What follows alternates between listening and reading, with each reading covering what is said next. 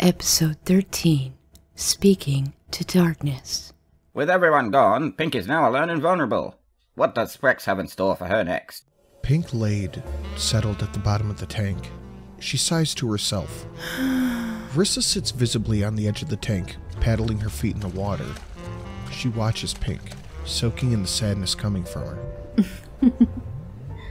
You really should have kept a better eye on your map.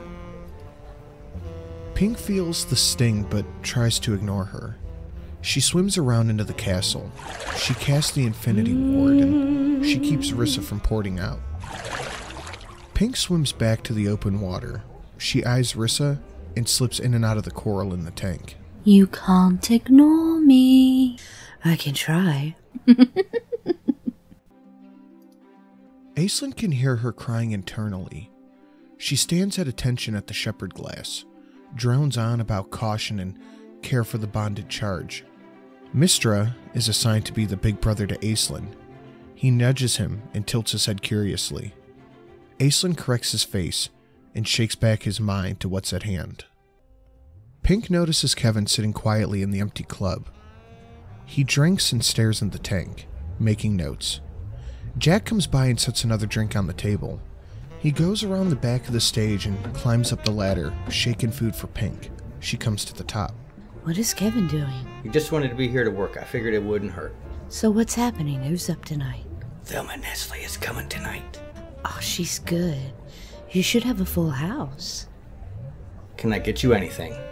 I could use a smoke. Jack lights one and then turns it so she can smoke it. She takes a hit. Gray bubbles pour out of the gills and pop, leaving a layer of smoke on the surface. He waits for her to finish and puts it out in the ashtray on the table at the bottom of the ladder. If that's all you need, I'm going back to paperwork. Thanks, Jack. Pink eyes Rissa. Why don't you come in for a talk, Rissa? She slips back into the water, changing shape into a black and red beta fish. Pink swims into her castle. Rissa swims right after her. Pink looks over and laughs at her vanity. She casts Bubble, keeping them close together. I always wondered why someone with so much power and ability isn't in charge. You should be on the Council for Lords of Chaos, but you aren't. I wonder why. Rissa ponders the question. Hmm. Well, Sprex is much more powerful than I am. I don't see a way to beat him. Hmm, it's too bad. He's having so much fun abusing you, watching you fail, leaving you hungry. Rissa pouts a little bit. In fact, he gets the lion's share of the pain and suffering. He doesn't even follow the rules he places on you. One set of rules for him, another for you. That hardly seems fair. Pink goes to the mouthpiece of the tall hookah that's half in and half out of the water, and she takes a smoke. I mean, you've been at this way longer than I have, and what do you get? Scraps. His hoof on your neck. Lady, you should be queen of the damned at this point. Yes. I should be. You know Sprex very well, I'm told. I do. We spent many years chasing each other around the seas when he was a pirate. Wonder why he didn't kill you before now. You know, I don't think he really wants me dead. Don't you? Think of it this way he's had me in his hands more than once, and I'm not nearly powerful enough to beat him. He could have done it at any time, you know. Hmm. You're right. Why do you think he keeps from killing me outright? He does like you to suffer. and it is particularly delicious. Hmm, that's true. What if he keeps me alive because I challenge him? Doesn't he know you'll only get stronger? Maybe. That's what he's banking on. He claims to want me as a partner. He needs me on Team Chaos. Maybe he's thinking of replacing you. Has that ever occurred to you? Do you think you'll ever come to Chaos? I don't know. It's always a possibility, I suppose. But if I become more powerful, I would also be a worthy opponent. I mean, look at how well I've done so far. yes, you are resilient. Rissa considers this for a moment. Her eyes flash red with fire. Pink exhales the smoke into the bubble, hotboxing both of them. As the fog obscures the view, Rissa feels more anxious. I could just eat you, you know. Send you back to the boss man for him to laugh at you again. She tries to pour it out but realizes that she's warded in. Smoke swirls in the bubble as Pink moves. I'd like to give you something instead.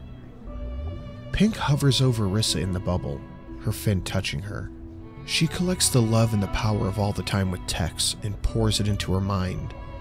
The sheer joy of it makes Rissa itchy and uncomfortable.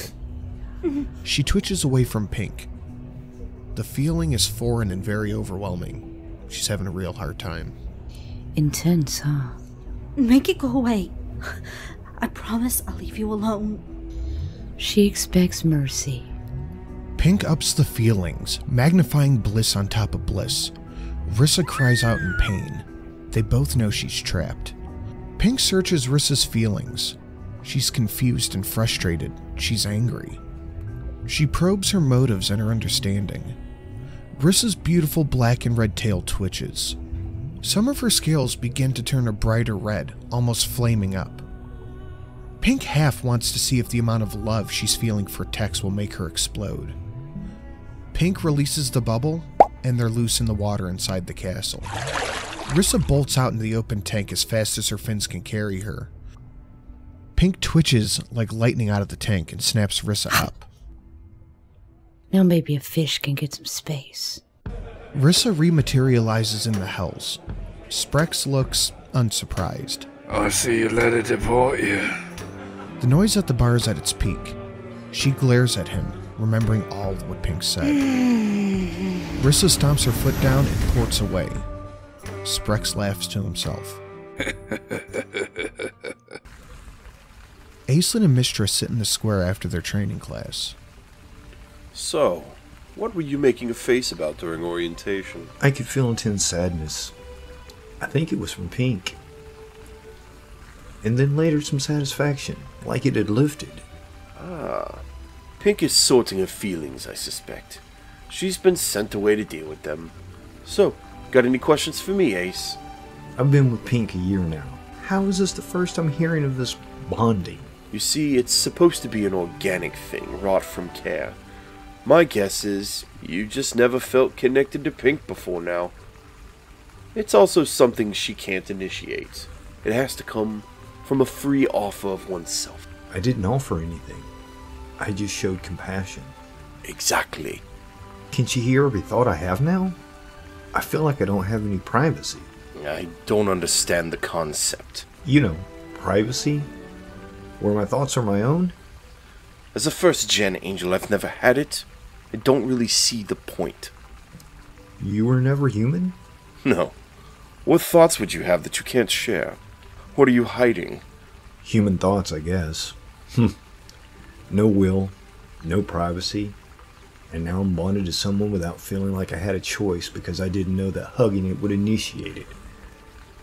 What benefit is this to me? You know how you can only port to places you have coordinates for or are familiar with. Sure. Now, you don't need that to get to wherever she is. You hone in on her. It also stops you from being warded out because you sort of occupy the same space in a way. Like the way a Venn diagram overlaps. Can I turn it off? Or at least turn it down? Uh, you'll get to a point where you can tell when she needs you. The normal rise and fall of her internal song will become background. But as a person with experience, she can limit what you hear. You will be able to as well with practice. What else is it good for? Well, for starters, battle coordination will be much easier. It will increase your spell abilities. Her connection adds power to yours. For example, say you cast Healing Hands. Because of your connection, it will be stronger and restore more health at a time. Okay. Okay. As a consequence, you also add Angelic Might to her already powerful abilities, boosting her damage and protection as well, since you can't use the power effectively yet. She can use your latent abilities as a booster, like a battery, and you'll level faster and gain more abilities because you share a power pool. Have you thought about your elemental power yet? You should be about ready to choose one, yes? I should ask Pink what she thinks. In the tank, Pink hears her name and perks up. Aislinn can feel the connection open between them. Okay, let's practice something since you're going to reach out to her. Take a deep breath. Imagine you're standing in front of her talking. Now ask her what you want to know. Aislinn takes a deep breath and visualizes Pink near him. He can feel the connection more strongly than before. There you go. Pour your will into it. Pink, what element do you think would complement your abilities most? Let's go with lightning. I think you'll feel comfortable with it. You can always add elements later. Aislinn begins to glow more brightly. I see you have the hang of it now. What did she say? Let's go with lightning. Mistra slaps his thigh and then stands Uh. up. Let's go get you checked in and see how your levels look. They both walk to the nearest check in point. Portia stands over Tex's tube, checking his vitals. He's nearly ready to wake up. She looks over to the list of shepherds and chooses Elris for his guide. Elris smiles down at Tex, taking the shape of his father. Tex's dreaming materializes the house around them, the windows white with the glare of snow. Elris tousles his hair, gently coaxing Tex awake. Come on, sleepyhead. Wake up. Huh? Is it morning? Did Santa come? Yeah, champ. He came. Oh boy. He whips off the covers and goes into overdrive, galloping around excitedly. He grabs a stuffed fish pillow off the bed in his room and races down the stairs. Elris follows him out. There's a flash of light, and Tex is gone. Pink swallows as their connection severs. Aislinn puts his hand on the sensor in front of the library. Aislinn Donovan, Class 1 Escort, bonded to Helga Holtzfaller. New abilities unlocked. 50% increase in the healing. Lightning element unlocked. Lightning ball. Lightning spread. Headshot. Wing shield now takes more damage. Use these new abilities in tandem with your bondage abilities. Aislinn, you have an appointment at the range for practice in 15 minutes. He jerks his hand away. I'll never get used to that. Did you forget you're in a military class? Mistra shakes his head. Aislinn shrugs. And they walk to the range. Pink sits behind the desk in Jack's office sorting papers, signing things and filling them out. Jack catches her mid motion. You okay? I guess. Why? You are in here. The funeral's today, Jack. And look at this mess. How does it get like this? Okay, settle down, boss. Listen, I came to tell you that Kevin is here. Okay, get me a whiskey sour or two and whatever he likes. He nods. Pink walks around the corner to her dressing room. Sure enough, Kevin's there fumbling with some papers. Pink closes the door quietly as to not disturb him. She sits down and straightens her chocolate colored wool skirt. Kevin? Kevin looks up his pencil hanging out of his mouth. He dumps the papers on the table and then spits out the pencil. Hello. Uh, so you ready to finish the story? It's nice to see you too, Kevin. How have you been? Uh, sorry, I- I'm just anxious to hear how it goes. Where was I? She was tattooing you, and the, that demon lady was whipping things up between you. Jack comes into the room and sets down a tray of drinks. He winks and clicks his tongue.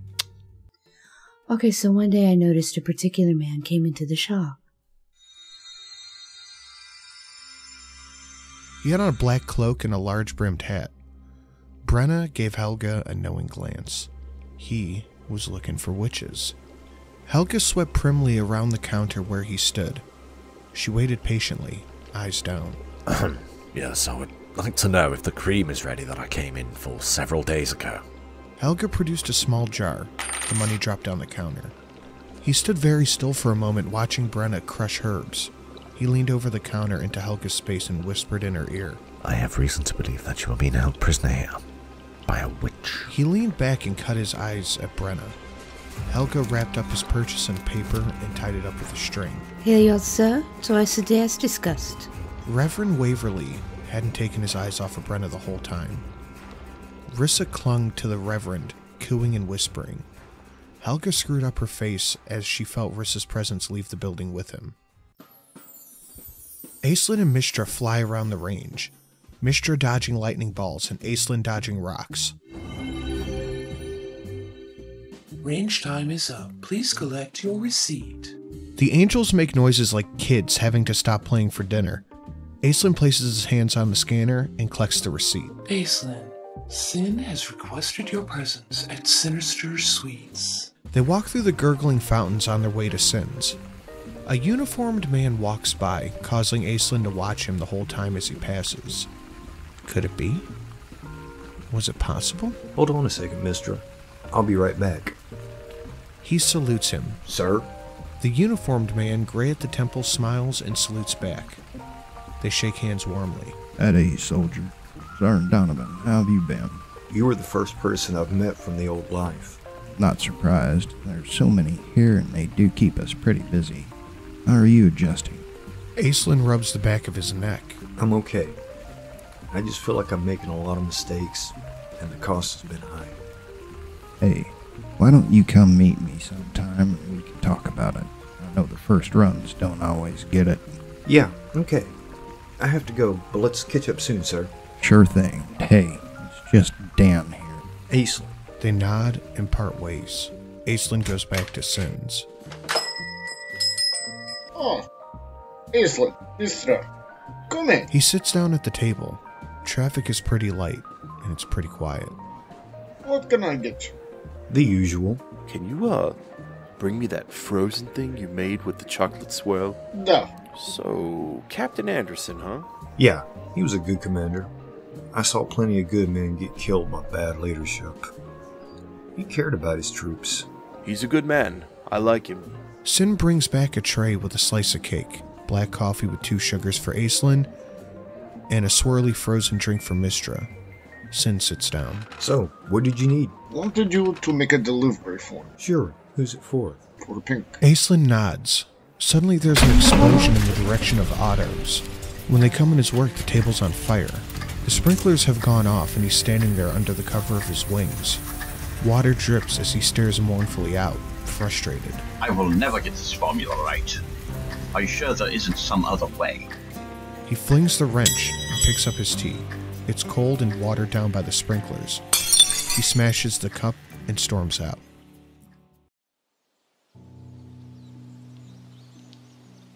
Pinky stands in the shade of the large oak in the middle of the cemetery. The priest mumbles some words, and it's over. Other than Pink herself, the priest, Dexter, Tex's driver, no one else came. Dexter touched her gently and guided her back to the car. Just as they were about to pull away, Pink spots Rissa in the shadows under a black umbrella. Rissa blows her a kiss, and Pink grumbles to herself. You alright, Pink? I just remembered I need to pay an old friend a visit soon. There was quiet until he pulled up to the club. She got out and turned back to look at him once more.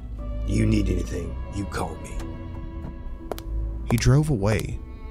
Pink goes into the club and looks at Jack. She looks left, right, and then she disappears into the tank. Pink has planted seeds of doubt in Rissa's mind. Aislinn has picked up some new skills, and Tex has crossed over. Stay tuned for the next exciting adventure of Chasing Tails, Episode 14 Back to Work.